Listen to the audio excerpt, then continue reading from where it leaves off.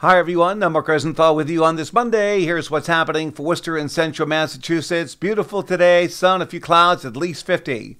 Tomorrow, sun, a few clouds, mild, 55 to 60. Increasing clouds tomorrow, low and mid 50s, showers by dark. Then we're stuck in somewhat weather for Thursday, Friday, Saturday. As we get later on in the week, snow and ice could get close to us. We'll have to watch that potential. And then cool breezy for the second half of the weekend. That's my forecast. I'm Mark Rosenthal.